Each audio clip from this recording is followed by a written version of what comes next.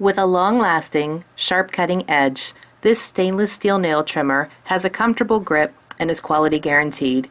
To use this tool, hold the trimmer with the blade facing you. Hold the paw firmly and trim the tip of the nail with a single stroke.